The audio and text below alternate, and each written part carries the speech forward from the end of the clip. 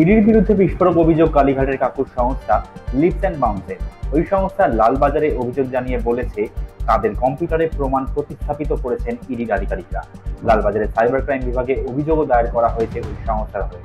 সোমবার আলিপুরের একটি সংস্থা সহ সূর্যকৃষ্ণ ভদ্রের একাধিক ঠিকানায় রাতভোর তল্লাশি চালায় কেন্দ্রীয় তদন্তকারী সংস্থা। ইডি জানিয়েছে, ওই তল্লাশিতে লিপস অ্যান্ড বাউন্সের কম্পিউটারের হার্ড ডিস্কে একাধিক অসঙ্গতি পাওয়া গিয়েছে।